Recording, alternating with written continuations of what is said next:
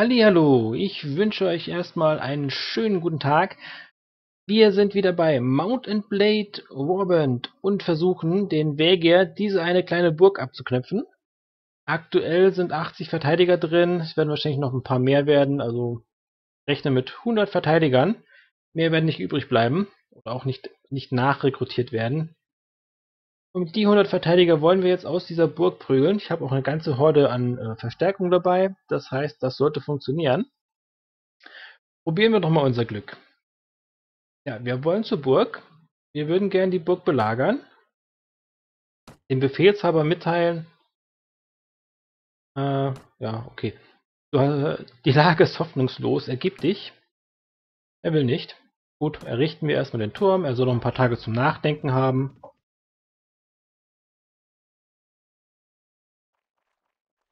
Hm. Es sind wieder ganz, ganz viele äh, Fürsten am Wechseln. Von A nach B, nach C. Hm, Swadien und Rodok haben wieder Frieden geschlossen. Swadien hätte eigentlich keine Gegner mehr im Moment. Ja, nicht, dass sie sich momentan langweilen und sagen, oh, dann greifen wir Friedensland an. Das so ein bisschen unvorteilhaft.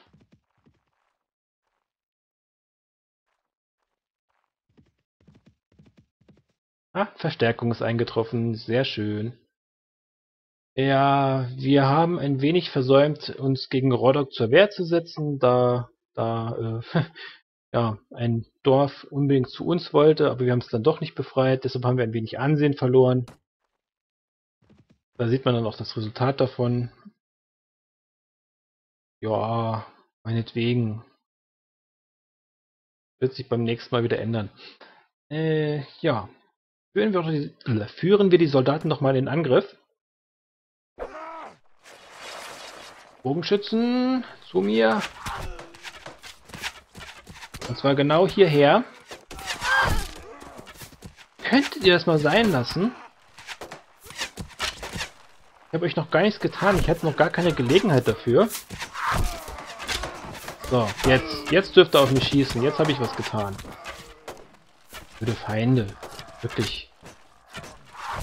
Immer auf mich. Ich meine, wenn sie wenigstens auf meine Soldaten schießen würden, hätte ich nichts dagegen. Ja, die werden dafür bezahlt. Aber wer bezahlt mich dafür, Pfeile ständig einzu... Du Honk!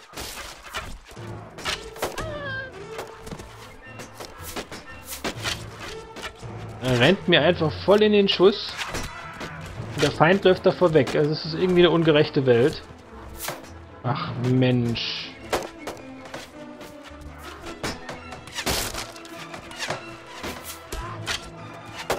Ah, sehr schön. Wieder einer weniger.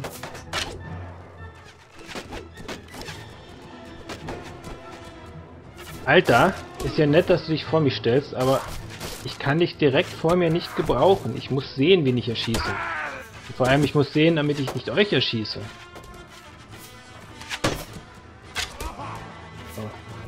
Wenn du mir nochmal auf die Pelle rückst, erschieße ich dich. Das ist doch echt schlimm. Man kriegt einfach kein gutes Personal mehr.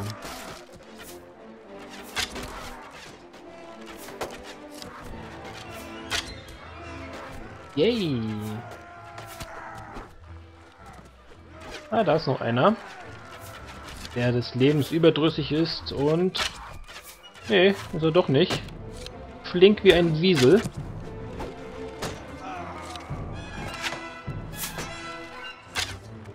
Zu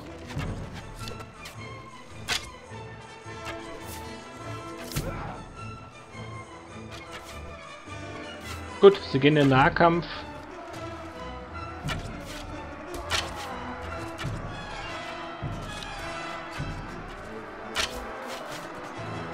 irgendwie treffe ich nichts mehr.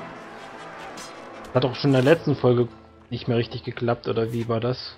Nee, stimmt, in der letzten Folge habe ich doch einiges getroffen, wo ich gedacht hatte, wow, für Pferde bin ich besser geworden.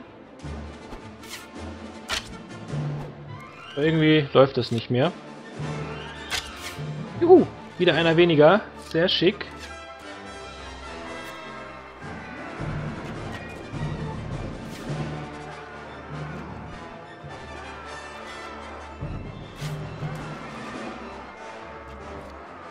Trau dich raus. Komm. Lightning.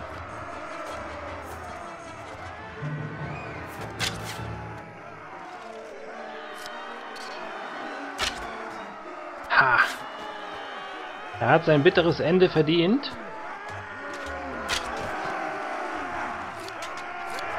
Oh, ja, super. ganzen Bogenschützen, Armbrustschützen rennen jetzt auch auf die Mauer, aber jetzt ist es mir egal.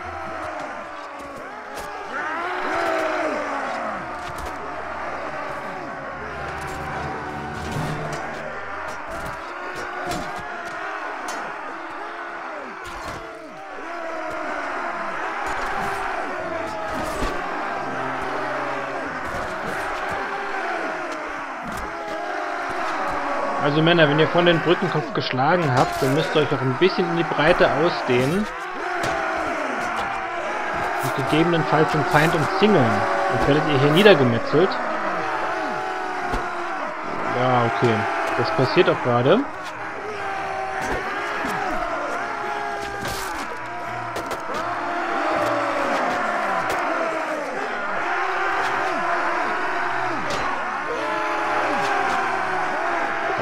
Schlagübungen. Ja. Wir sind bereit für den Kampf.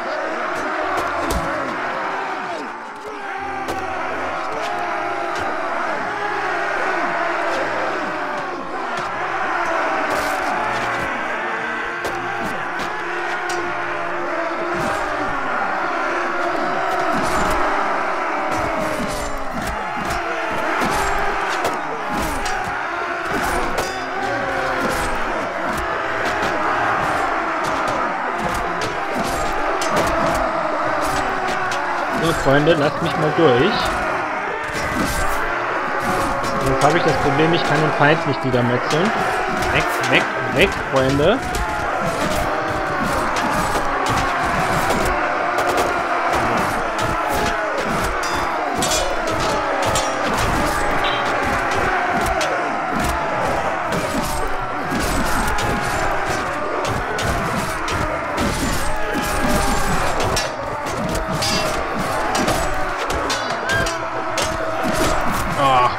Kinder.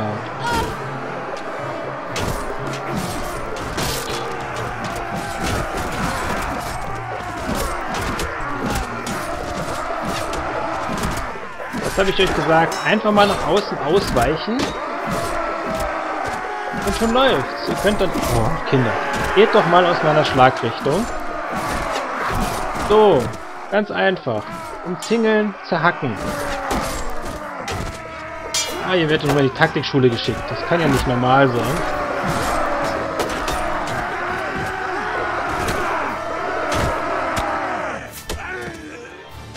Äh. Jungs, entweder die Treppe runter oder eben über die Brüstung laufen. Äh, über den Wehrgang. Brüstung ist das andere.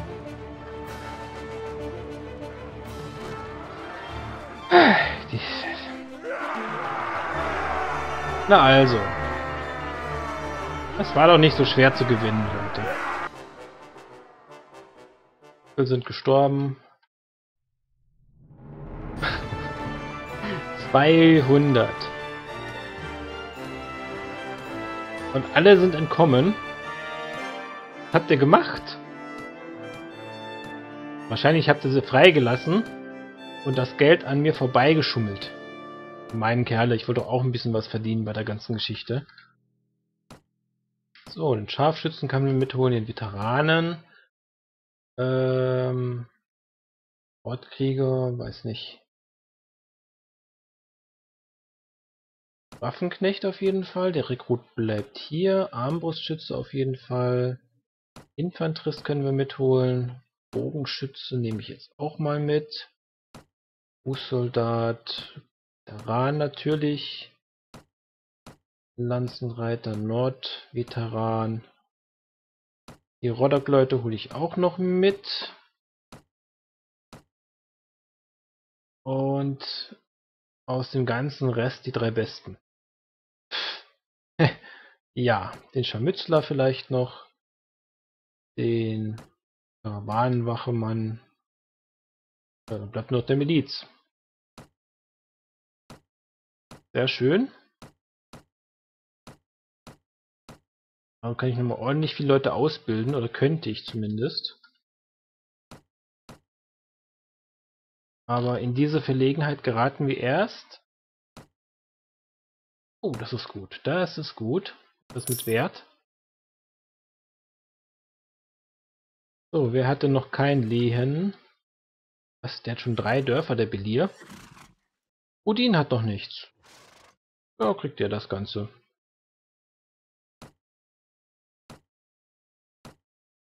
Sehr schön. Ich hoffe, er kümmert sich dann auch ordentlich drum. So, die haben jetzt aufgehört, mein Dorf zu überfallen. Weil sie eigentlich was gegen die Wege hatten. Und jetzt zu unserer Hauptstadt zurück, nach Halmar. Mit dem ganzen Tross. Und im Süden werden wir dann noch die andere Burg vernichten und dann hätten wir die Wägier von der Karte getilgt. Naja, es gibt Schlimmeres.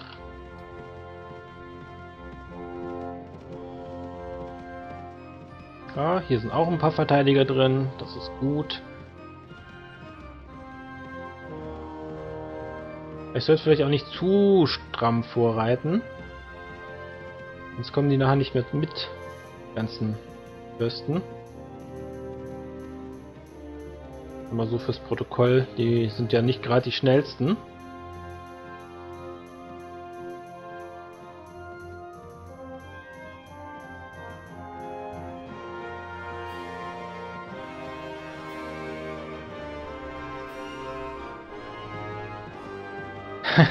Fürst, äh, nee, Sultan Hakim. Ah, es war der Sultan. Ich habe ja mal die These in den Raum gestellt, äh, dieser Hakim, der Fürst, der immer hin und her wechselt, nein, es ist vom Sultan ausgegangen. Dass da wieder irgendwer hin und her gewechselt hat. Wurde. Kommt, schneller.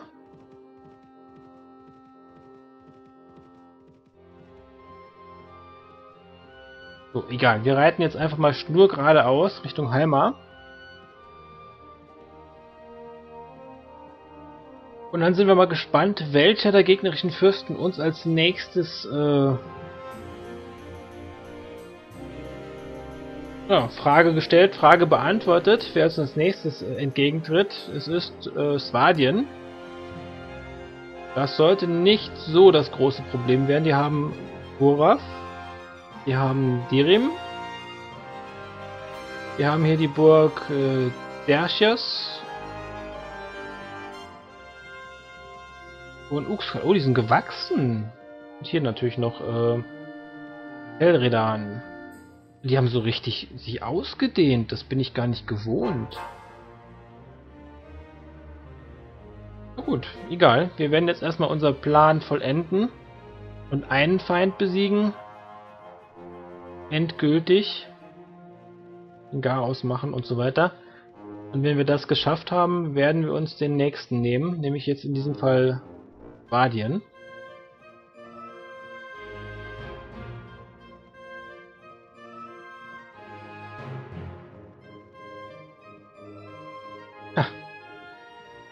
Ja, ich glaube, der, der Sultan, der Hakim, verscheucht gerade seine ganzen, äh, seine ganzen Fürsten. Diese Wortfindungsprobleme, die gehen mir langsam selbst auf den Nerv.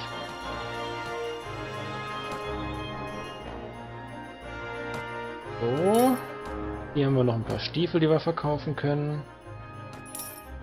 Handelsware Wurst. Kohl. Korn. Und Brot. Ja, dann wird es wieder knapp. Wir haben nicht mehr allzu viel. Also zu lange sollten unsere Belagerungen demnächst nicht mehr dauern könnte Nahrungsmittelprobleme geben. Aber gut. Jetzt ist es nun mal so. Und wieder meines üblichen Strebens werden wir dieses Turnier nicht angehen. Ja, wir werden die Zeit nutzen und uns der Burg widmen. Ah, da ist dieses Pochen im Hinter in meinem Hinterkopf, wo dann sagt, Turnier, Turnier, Turnier, Turnier.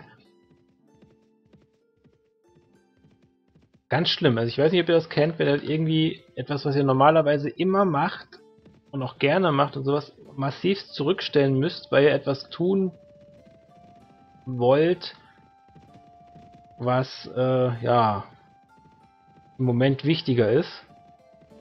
Und es hämmert und pocht und ich will berücksichtigt werden. Ich bin das Turnier. Mach das Turnier. Boah, ist echt anstrengend. Ey, die haben ja gar nichts hier rumlaufen.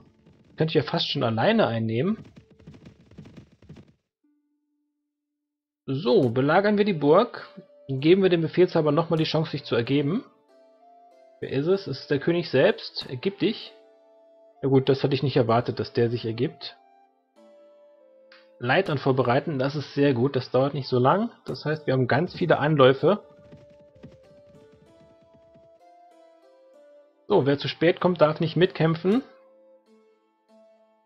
Auf in den Angriff. Hier frage ich auch kein zweites Mal mehr nach. Die haben es nicht verdient.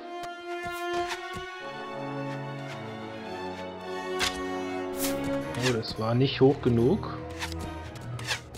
Ihr könnt zu hoch sein. Ne, der war gut.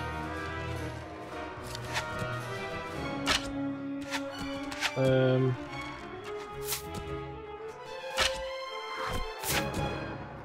äh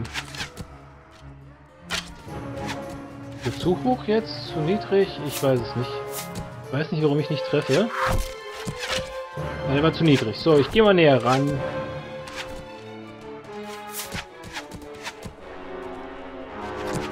Aber ich werde jetzt auch nicht großartig taktieren, weil, ähm, glaube ich 800 Mann ungefähr dabei. Wow, da oben ist ja noch was. Das ist ja mal schick.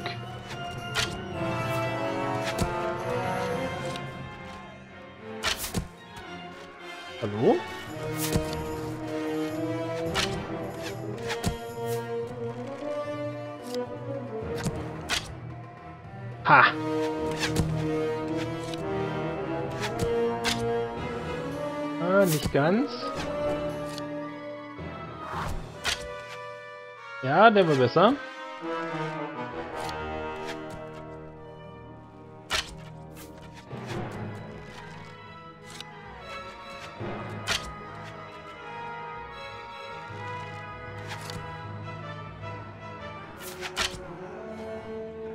Schieße ich zu hoch oder... Es leider nicht gegen die Wolken. Ah, das war's.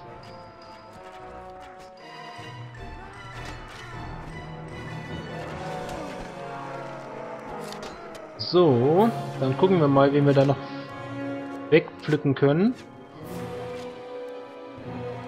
Ja, irgendwie keinen. Die stehen jetzt alle auf der anderen Seite.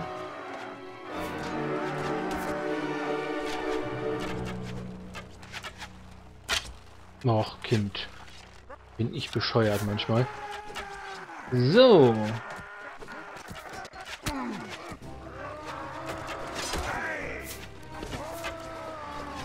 Ah, du. Du Strolz erschießt mir meine Soldaten. Ja, jetzt nicht mehr.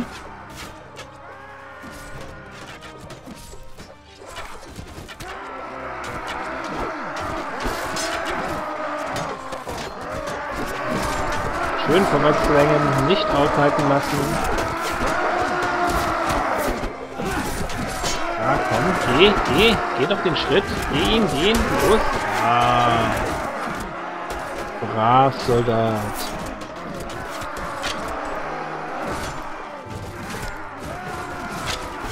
Oh.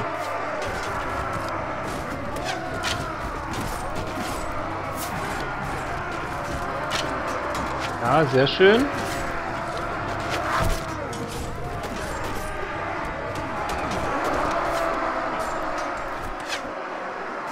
Ah, da unten sind noch welche. Ach nee, das sind unsere. Ja, ich hätte fast auf unsere Leute geschossen.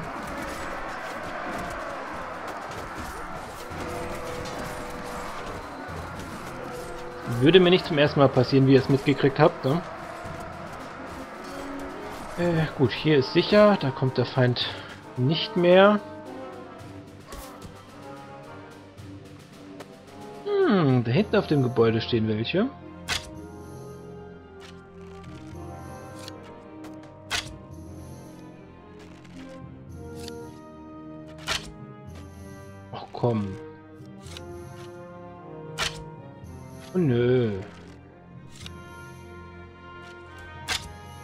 Das war falsch geschossen.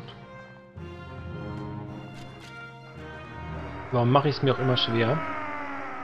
Sieg? Oh, das sieht gut aus. Das sieht wie ein Sieg aus. Sehr schön.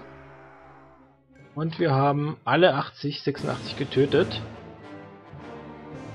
Oh, ich könnte dich freilassen.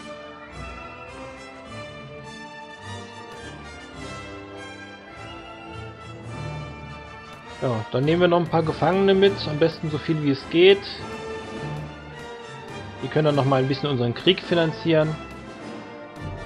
Auch wenn wir das nicht mehr nötig haben.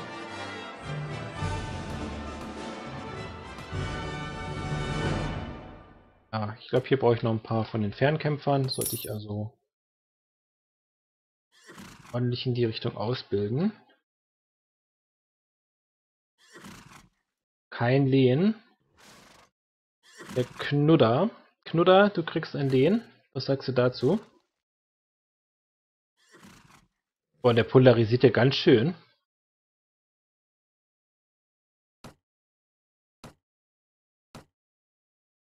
Wie auch immer. Ja, wo ich schon die ganze Truppe beisammen habe, schauen wir doch mal in Dirim vorbei.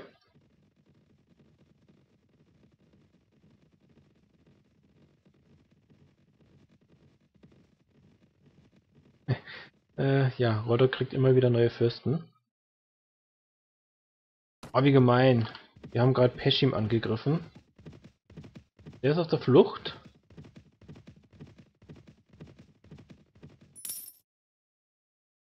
Und noch mehr Geld. So gehört sich das.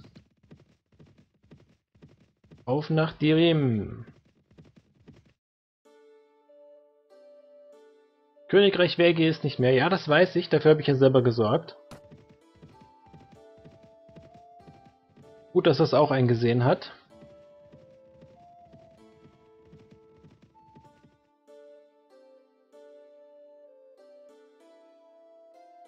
Unutzdak wird gerade belagert. Jetzt ist natürlich die Frage, wo ist Unutzdak? Da unten? Boah, ja, komm, den Tausch mache ich, Stadt gegen Burg.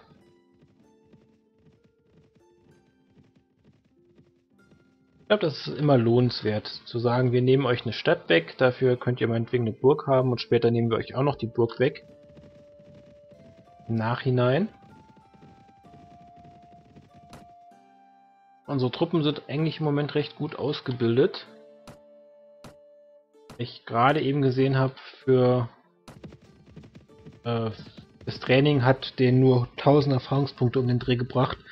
Das heißt, fast alle sind im Bereich von Elite oder besser. Aber hier gibt es wieder Streitigkeiten zwischen Nord- und Sultanat. Das ist auch nicht verkehrt. Oh, 200 Leute. Eigentlich machbar.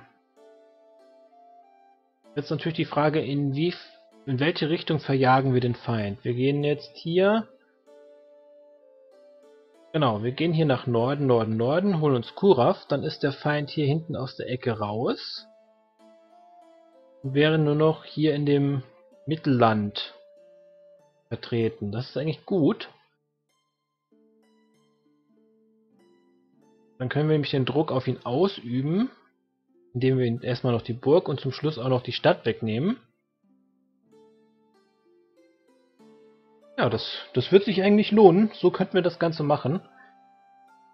Die Frage ist nur, wie viele Anläufe wir brauchen, hier die 200 Soldaten zu besiegen und ja,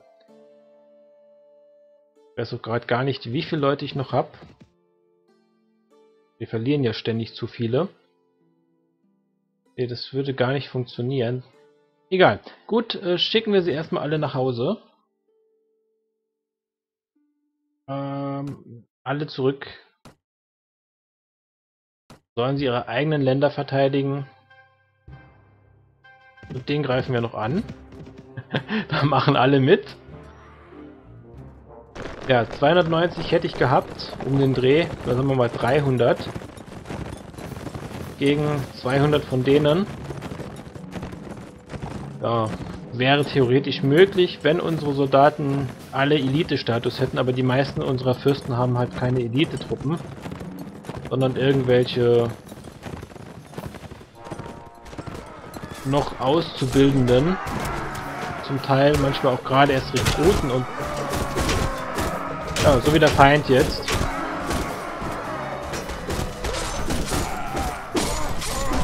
Rekruten, Milizer, Scharmützler. Also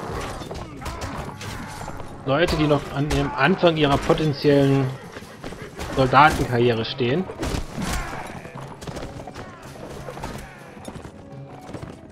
Und damit macht es dann keinen Spaß, eine, eine Eliteburg anzugreifen.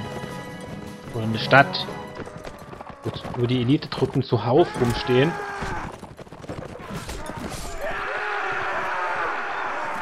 Ja, ein Sieg. So zum Abschluss nochmal ein Sieg. Denn ich habe gerade auf die Uhr geschaut, die Zeit für die Folge ist schon wieder durch. Freut sich jemand, dass wir geholfen haben. Du wärst ein Gefangener, die schicken wir weg. Können jetzt noch ein paar Gefangene mitnehmen.